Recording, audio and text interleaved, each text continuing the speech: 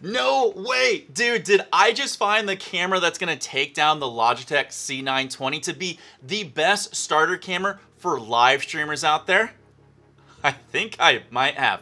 This is the HD600, which is going to be one of the best cameras that you've never heard about that you should have. This little guy creates awesome quality, it's Xbox capable, and guess what? It's available. Let's take a look.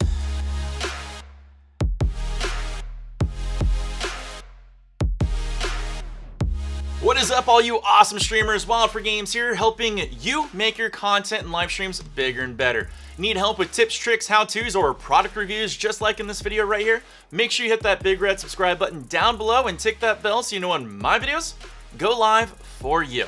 It's really tough to find a good deal for a web camera out there, so that's why I want to take a look at the HD600 web camera to see if it will be perfect for you. So let's dive really quick into all the specs of that camera.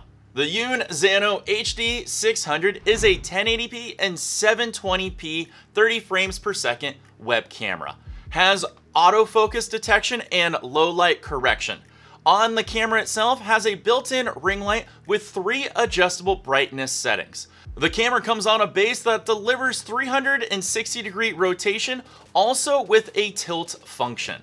Comes with precision white balance adjustments, dual stereo microphones with noise canceling, and is an easy plug and play unit to get you up and running within no time flat. And if you're an Xbox user out there, this camera is Xbox compatible for your streaming needs. The Unzano HD 600 comes in right around 40 USD to 80 USD on Amazon. The HD 600 also has two unique specs listed down. It has a wide angle lens that claims that it will do no distortion to the image, as well as facial enhancement.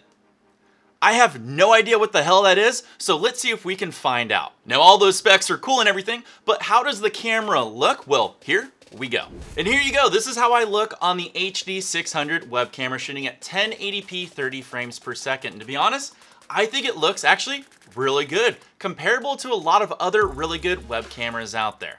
In fact, I think it holds right up there with Logitech C920, which is the warhorse for a lot of streamers out there. If I played around with this a lot more and fine-tuned everything, hey, this one might even be a little bit better, surprisingly. Now, one thing you probably noticed is how you can see all of my room, and that's due to the wide angle lens on this camera. Now, I couldn't find anything in the specs that said what number it might be, but if I had to take my shot in the dark, I would say probably around 100 degrees. But one thing it claims on the box is no image distortion. And to be honest, I don't really see any. And that is fantastic. So that's a win for this camera right here. Perhaps my favorite thing about this camera, get ready, is the color profile. I actually love the colors in this camera. They're pretty close to true when you make adjustments. And that's the key thing about this camera. Making adjustments to it is a breeze. I feel like it's a dumbed down color profile where it has smaller or gradual changes in the gradients or color tones or color temperature, which is awesome. There's no drastic changes, so you can fine tune it to be better for you. There is no going way too over with blue or way too over with orange. You can fine tune it right in the middle, which I love, love, love about this camera. So what about that facial enhancement that this camera was claiming it could do on some of the spec pages out there? Well, I think you have to set the camera up and fine tune it, and then you probably have to re-log into your broadcasting software to get it to activate, so let me do that. Oh my God. I look so dreamy. I love this. No, I couldn't find what freaking facial enhancement does. I think it's just a fancy term of saying good clarity to this web camera, which to be honest, I think it actually does have good visual clarity. Now, is there anything bad about this web camera? Yeah, I've got a few bad things to say about it. Number one would be the ring light that's built in on the web camera that has the three adjustable light settings. It sucks, it doesn't work, it's a full-on gimmick. You wanna see how bad it is? Let me show you what the brightest setting is when I turn off all my lights here. All right, every single light is off except the background lights and my monitors are on low and the ring light is off itself. So let me show you what it looks like on the brightest setting. Did you miss it? Cause it's turned on right now. It's like a sun is hitting me in the face. No, it sucks. It doesn't do anything. It is a gimmick. Now it's fine that it doesn't do anything because I didn't expect it to do anything. I do think it has a small value to it though. When you put the ring light on, it lets you know that you're live streaming and it'll allow you to look more at the camera, which is a great way to make communication to the viewing audience like you out there, which will help you. So I guess it's not that bad, but don't expect to illuminate your stream with it. Problem number two about this web camera, and I don't know why I can't get it to work, but the zoom feature doesn't work on this camera. Perhaps it needs an update or you do need to download a driver for it, but if you're using anything like a broadcasting software, I couldn't get it to work, so you'll have to move the camera closer to you if you want a closer crop. Another problem with this web camera is it only handles low light situations kind of okay. If you look behind me, you'll notice some things are a little bit artifacty or dancing around or not really that clear. And it's because it doesn't know how to compensate for that low light that well. But again, that doesn't bother me too much when I take into consideration the price of this camera. But if you're a low light streamer or gamer out there, hey, take that in consideration when you get this camera. Perhaps my biggest problem with this camera is when you turn off your broadcasting software or close it or unplug the camera, it always adjusts back to really crappy orange yellowy looking settings. So you have to set everything up again if you want to start broadcasting. A minor thing if you write down your settings or you don't have to do that many adjustments, but that bothers the heck out of me. But there's no way around it that I could find. Now, if you're really curious how I sound on the HD 600 webcam out there, here we go.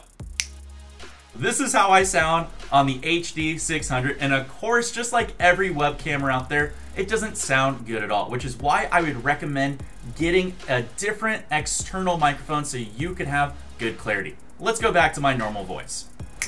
Now I personally think the HD 600 camera looks pretty darn good, but it reminds me of another camera. It reminds me of the Vitade 960A web camera. I mean like you almost can't even tell the difference between these. And get this, these are the boxes for both cameras. I can't even tell which is actually which. So how do they stack up? Well, let's take a look. And here you go, you can see the comparison between the Vitade 960A and the HD 600 web camera. And you can see the difference between the two here. Now I think the Vitade 960A doesn't look as good as the HD 600, but to be fair, the Vitade 968 doesn't really do that well with a mixture of colors because it adds too much magenta or green as you can see.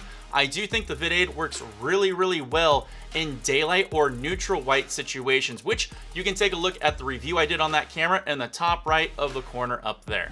Let's also compare the camera against its biggest competitor, the Logitech C920. And this is how the C920 looks compared to the HD 600 web camera. And I like a lot the C920 camera, but you can see how muted I am because that's more neutral. Now to fix that, all we have to do is easily just add in the configuration some saturation and let's see how that looks.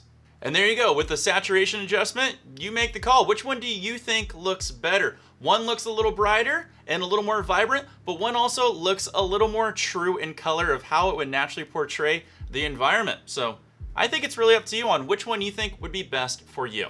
I'm curious, what camera do you think is best? Also take into consideration, what camera do you think is best for the price? Gotta weigh both those options, but hey, I think I look pretty darn good on both. So what do I think of the HD 600 web camera? You know, I actually really like it. It comes in on Amazon between 40 USD and 80 USD. And to be fair, I think at this moment, it's worth it at any one of those prices. If you can steal it for right around 40 USD, that is awesome because this camera actually really does deliver. I was truly impressed by it. Now, if you think you're gonna get the HD 600, you can do me a favor and use the links in the video description down below. It costs you nothing, but it really does help support my channel, so thank you very much. Now, if you're probably wondering out there, which one should I go with, the HD 600 or the Logitech C920? You know, that's a tough call because I actually really like both of these cameras. I don't know. Perhaps that deserves its own video. And if you want something like that, hey,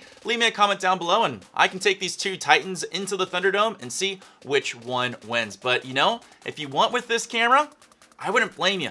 It's fantastic. Now, if you want to kick up your visual representation on your stream or content creation or whatever you're doing online. I've got a great camera for you if you want to spend a little bit more money. It is the Logitech Brio, and I'm going to put that video right over here for you to take a look after the end of this one. It's an awesome camera, and you're just going to love it. Until next time, Wild for Games, making sure your content is bigger and better. And until next time, I will see all of you beautiful peeper, peeper, people later. Take care and peace. It's tough doing sign offs. Oh my gosh. Peace.